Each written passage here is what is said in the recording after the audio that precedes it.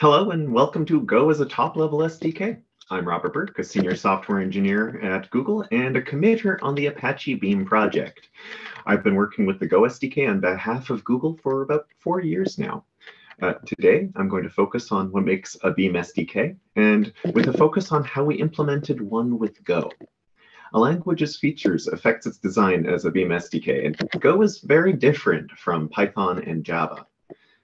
But first, what does a top level SDK even mean? When I was first suggested to do this talk, I actually didn't have much of a clue. It's not a term we use in Beam. It doesn't show up in the glossary. So ultimately, this talk is what I feel being a top level Beam SDK is about, at least as far as uh, the user perspective is concerned. If I'd have to draw a line to start, uh, a top level SDK is one that lives in the Beam GitHub repository and is maintained by the Beam community. That doesn't quite cover it exactly. We currently have uh, four SDKs in the, uh, B, uh, the repo uh, with Java, Python, and Go, and now TypeScript. Uh, TypeScript was only added to the repo about a week ago and is currently experimental. So while it's in the Beam repository, I wouldn't call it a top-level SDK yet. Uh, this definition excludes a Scio, which is a Scala-based version of the SDK uh, built heavily on top of the Java SDK. But it does not live in the Beam repository and is often its own place in GitHub. So it's excluded by default right now. Um, that leaves uh, the other three uh, the other three languages. Java was first, Python came second, and after a long period of being experimental, came the Go SDK. So that gives us a few requirements to start with. A top-level SDK is an SDK that implements the Beam model, lives in the Beam repository, and is maintained by the Beam community, and of course, is not experimental. Uh, these are useful from the user point of view, since users are a part of the community, and they're empowered to change and improve the SDKs as they need them. This is the value of Beam being open source. Implement, now, implementing the Beam model to some degree is required. SDKs that don't do this obviously can't be Beam SDKs, let alone a top level one. Being in the Beam repo makes them easier to find and contribute to. Not being experimental means that users can trust that the SDK is tested and isn't likely to introduce breaking changes to their uh, jobs that they've written working code written should continue to work between updates. But that doesn't feel like it's enough, does it? The Go SDK is all of these, but what else makes it a top-level SDK? Perhaps we'll figure out more features of a top-level SDK as we go on. So for that, we'll need to look deeper. So for those of you who don't know, Go is a programming language. The apocryphal story is that Go was originally conceived of during a long C++ compilation. The Go authors took that as a sign that programming could be faster and focused on making a new language that's easier to read, easier to write, compiles quickly, and executes quickly. This ethos drove the design of the language, leading to one that is strongly typed, statically compiled, and avoids inheritance and overloading. On top of that, it brings concurrency into the language itself instead of leaving it to libraries. It also has a standard library that is useful for the internet age with web servers and handlers and goodness, crypto, lots and lots of crypto. And I mean for the encryption kind, not the NFT kind. None of these ideas were new, but they had not come together in this way before. I find it personally useful, and so does Google, and others actually seem to agree in the last, goodness, 12, 13 years since Go uh, was released. Uh, it has become the cloud, uh, the language upon which the cloud is built, powering things like Docker and Kubernetes. Uh, until very recently, Go didn't have generics. So uh, as a result, uh, parts of this talk might become out of date very quickly uh, because we're already considering how we can change the SDK uh, with generics in Go. Like with any programming language, Go's features and affordances affect how people design APIs and the resulting SDKs. That directly affects the user experience from initial authoring to how to deploy it to production. Let's start with that last point, deploying to production and move backwards. In the interest of time, uh, I'm going to be omitting points on how Beam is architected nor will this talk teach Go generally. There are plenty of other talks that have covered that before. Uh, so as a result, uh, as I've mentioned already, there should be time for questions after the talk, and I'll also be available to answer questions in the Beam College Slack afterwards. So uh, on to deployment. Of all the SDK languages, Go is the only one that must be statically compiled into an architecture-specific executable. So that means it needs to match, the, the executable that you have needs to match the OS and the CPU architecture of the, uh, the, the, the, the machine in question. Python can be interpreted. Java compiles to bytecode executed on a JVM. Both of them can have resources dynamically loaded at runtime via modules or jars but neither of them particularly care whether you're running on x86 or on an M1 processor, as long as the runtimes are available in the container. For Go, everything the binary needs to run is included in the executable at compilation time. This is great for portability. No managing downloads of libraries or preloading them into containers. Uh, and assuming you're developing on the same OS and architecture that your pipeline's workers are running on, you're already there. Um, but does this mean you can't deploy to the Linux-based cloud on your M1 Mac? No, of course not. It just means that your code needs to compile twice, once for the platform launching the pipeline and once for the platform uh, used by the pipeline workers. Java's compile once, run anywhere, this is not. Go has a robust cross-compile support for different architectures, making this pretty easy. Uh, we simply set the target architecture with the GOOS and GOARCH uh, our environment variables and run go build. I have it on good authority. That's how you pronounce those. The SDK will even attempt to do this for you in some cases, uh, targeting the common Linux AMD 64 platform. Either way, voila, a Go binary for your target architecture. To use this for deploying uh, to production, you take your two binaries, uh, set the worker binary flag to the worker er, to the executable that you want for workers when starting your pipeline, and then launch your pipeline. The runner will then uh, take care of the rest. The binaries are otherwise multimodal and will behave either as pipeline workers or as your main program in order to launch the job as needed. Uh, you can see the Go cross compilation page on the Beam site for more information. Next is how the language affects pipeline construction. This is where Go's previous lack of generics came into play, along with the lack of inheritance, its lack of function overloading, and its lack of annotations. How these intersect with strong typing, first-class functions, full-type reflection, and multiple return values led to this current SDK. For Beam, the SDK is an implementation of the Beam abstract model. A simple interpretation of this is how users express the P transforms they want to apply on the P collections in their pipeline. The SDK is there to make sure everything makes sense and that it can execute your DoFuns at pipeline execution time while catching potential runtime errors earlier at pipeline construction time. So let's take a look at how this looks for Go. We get our pipeline object and root scope. Uh, we pass each transform the scope and their input, and in turn, they return a P collection that can be used downstream. When the pipeline is constructed, we can pass it to the run function and be sent off to some runner for execution. As per Go style, uh, the types on variables don't need to be specified manually in many cases, uh, though everything is type checked by the compiler. This makes the Go code lightweight to change. Though uh, you may just need to take my word for it that the variables lines counted and formatted are beam p collections.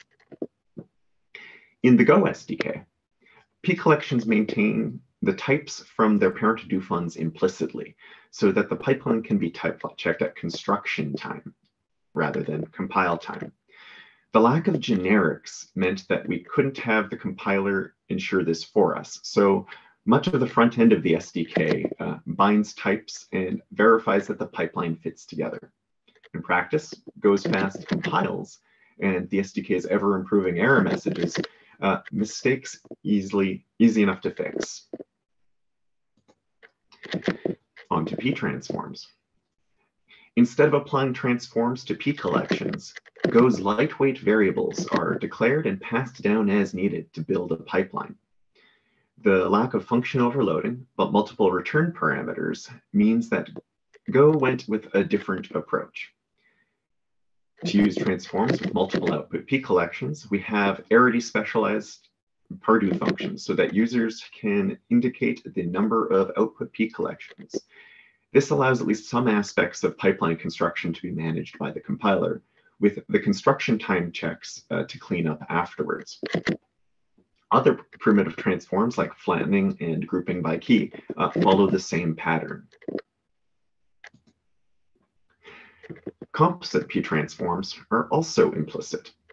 Since we can't have an expand method on some abstract class, the Go SDK allows for composites uh, using a scope variable. Composite p-transforms are nothing more than regular Go functions that happen to take a scope parameter, input p collections or other configuration, and return any of the output p collections. The scope uh, name can uh, be defined if desired, and then passed to the subtransforms. Otherwise, there's no special handling from the SDK. One simply calls the functions as needed uh, to add them to a pipeline. Finally, we're down to the nitty gritty. How did Go's language features affect uh, DoFun authoring? When figuring out a DoFun API for a language, there are several things that need to be accounted for. If we don't, we could end up having the SDK being unable to implement the more advanced features of the Beam model. So we need to plan for growth early, even if we aren't implementing them just yet. Much of all of this is how we tell the runner and the pipeline graph what to expect. If we don't expose input and output types, we can't verify P collections match until it fails at pipeline execution time, let alone at construction time or compile time. Side inputs need to be mapped to their inputs. Output P collections need to be declared somehow access patterns for side inputs, and other things need to be known so that the runner can take advantage of a DoFun's abilities and optimize its execution. So how do we define a DoFun?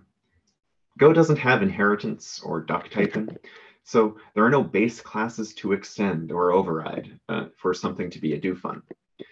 Instead, DoFuns are structs that have a process element method. Uh, so sort of a form of duck typing. During pipeline construction, reflection is used to pull out a method's parameters and to figure out uh, what the DoFun needs as input and provides as outputs so we can correctly type check the pipeline. But not all DoFuns need configuration or to support the bundle lifecycle with methods like start bundle, finish bundle, or so on.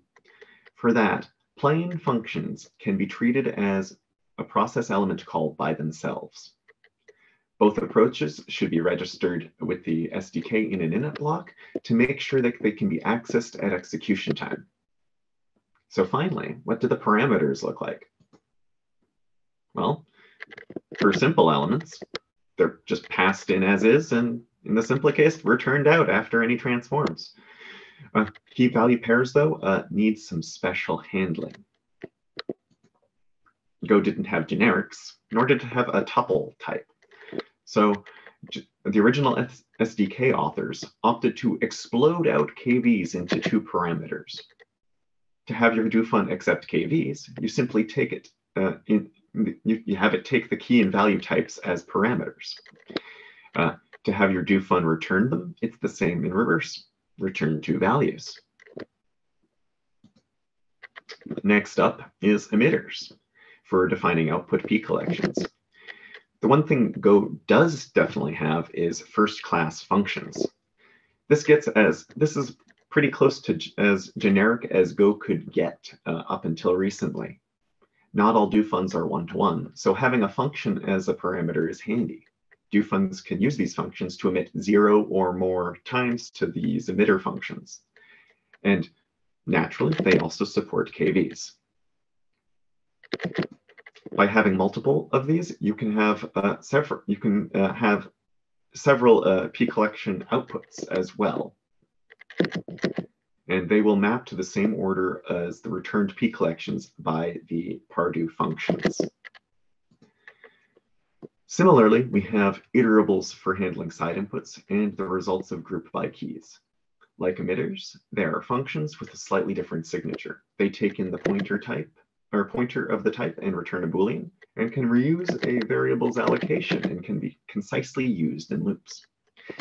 Map side inputs uh, as demonstrated by the lookup function kind of below, uh, let you look look up values for a given key and get an iterator back for all values associated with that key. Kind of a light version of group by key, but using side inputs. In the end, the position of side inputs and emitters in your process element signature will match the order needed in the beam ParDo calls for pipeline construction. We call this the positional API. It's not the only way the API could have looked, but it's the only one we've got for now. Who knows? Maybe as Go continues to evolve, we'll be able to adopt a more tagged approach like Python and Java does in the future. Uh, to tie things off, though, uh, community. When it comes to a new SDK, how Beam integrates with that language's tools is also important. If we don't, then users would be forced to handle things manually or with ad hoc scripts. This makes it harder on, to take on dependencies or integrate with other tools. The Go SDK isn't that new, but Go's mechanisms for these have only been prevalent for about two or three years. And for Go, a lot of this is very, very simple we have the Go tool, which handles all of this from building your code and building and testing your code uh, to handling standard packaging, package managers, dependency management, documentation. Releases for the Beam SDK for Go is, as is happens as soon as the GitHub repo is tagged with the appropriate version. That's it. Go tools take care of the rest documentation becomes automatically available to uh, everyone on pkg.go.dev. And the Go module system uh, takes care of all the dependency management so that users can use the same things we're testing with or override them as needed. So as for our top level SDK question, we can, I think we can modify our requirements a little. Uh, the Beam model should be implemented idiomatically for the language. It needs to be familiar to the users of that language, even if they aren't familiar with Beam yet. It also needs to integrate with the language's tools so that they're accessible to the community uh, for that language. I think that's a pretty reasonable bar. Um, and just before I finish up, uh, most of this talk is cobbled together from the following resources. There's the Go website, uh, Effective Go for authoring fairly idiomatic Go. Uh, and a lot of the original ideas for how the SDK is designed are contained in the Go SDK RFC. Uh, you can see a lot more examples in the with the SDK overview and in the Beam programming guide. Uh, and that's what I've got for my slides. So thank you very much. I'm going to happily take and answer any and all questions you've got. And, and we had a question, are there any benchmarks or information on performance comparisons uh, between between pipelines? I mean, between so, languages, between languages? So the closest comparison that exists for the languages right now uh, mm-hmm. is on the is the load tests on the metrics.beam.apache.org page, which I'm going to just go ahead and apparently my audio stopped. Um, now that was when I muted you for a bit um, while we were trying to sort out if it was your keyboard or not. And yeah, it was your keyboard. But yeah, then then you unmuted yourself and yeah, everything was okay. And then sure. Uh, da, da, da, Get rid of you. So you should be able to still hear me. Yes, right? we can hear you and we can see metrics.beam.apache.org. Yeah. So yeah, metrics metrics.beam.apache.org is this particular page, uh, but we otherwise have uh, fairly, for at least most of the primitives and some very simple cases, uh, benchmarks that run uh, at least once daily for most of the languages. So we have Python numbers. Uh, most of these are currently on against uh, Dataflow, although Java compares also structured Spark streaming as well. Python and uh, Go as well. So we recently only fixed uh, the, the, the benchmarks. So these numbers are a little haphazard at the moment. Uh, but um, by default, unoptimized pipelines uh, end up taking a, a little uh, or a little faster than the equivalent Python. So that doesn't sound particularly fast, but this is the unoptimized version. Uh, we are making it so that it's much easier to uh, get to uh, bare metal tests uh, in a newer version of the SDK using using actually generics, as it turns out. I omitted a lot of details on how we actually call our the various functions. Uh, by default, a lot of reflection is used heavily, but uh, we also designed the SDK so that we can uh, replace parts of that are using reflection to parts that are using things like type assertion. So literally, I merged in a PR yesterday that I'm going to just quickly look up if you'll bear with me. Sure. Yeah, uh, just because that included a delightful benchmark. Uh, yeah. No. Is this? for some reason I couldn't, uh, I, I didn't, uh, oh, right, those were, those were other changes. Da, da, da, file changes. So for uh, actually currently available now, there is in fact a code generator that you can run uh, and specify things, but because it's a process you need to run before and it's not kind of integrated with your code, it generates a lot of ugly code for that. Um, but uh, with generics, uh, we can get rid of the code generator and make it so that the compiler is doing a lot of this work for us. So uh, Danny McCormick uh, has been working with me on converting it to generics. And the reason I'm looking at this particular PR is I don't know how clear this is for y'all. I'm going to also just put that in the chat. And, uh, but by default, for example, uh, just calling a non-optimized function takes whatever length of time the function takes, uh, plus a bunch of overhead for the reflection. So overall, this is around 300 nanoseconds or so. But when we optimize it, it gets down to eight nanoseconds. So right now, because the load tests uh, were only recently started up, uh, we are letting those run for a few days so we can kind of get a baseline for the optimized case uh, before we add the, uh, we, we demonstrate the optimized things. And this is all coming in the 2.40 release of Beam. Uh, we'll be updating all the examples and the documentation to make it clear and obvious how to use these things so you can get this performance out of the uh, SDK and for all your jobs. Uh, the fun fact about this is a lot of this stuff was very necessary for the use of the Go SDK internally uh, for, for Google, but it hasn't been as easy to externalize, even though it's always been developed in the open source world. It's there's just so many extra steps and we couldn't automate them generally. Uh, awesome. okay, That's uh, an awesome resource. Thank you. Uh, we didn't know about that one. metrics.beam.apache.org. Yeah, this is uh, accessible from the Beam page at the very bottom called Community Metrics. Okay, we'll check into that. We have a question from Fernando Garcia asking uh, if you have any idea of the estimate number of public templates that are available for Go. He assumes that it is lower than the ones available for Java, but it would help to to have the number just to understand how the community is adapting or switching to Go based on the number of public templates.